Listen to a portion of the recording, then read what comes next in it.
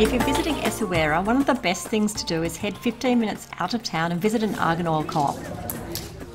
I visited the all-female Cooperative Marjana. You have to try to crack one of those argan nuts. The women in the co-op make it look much easier than it is. I tried again and again. I have no idea how they do it.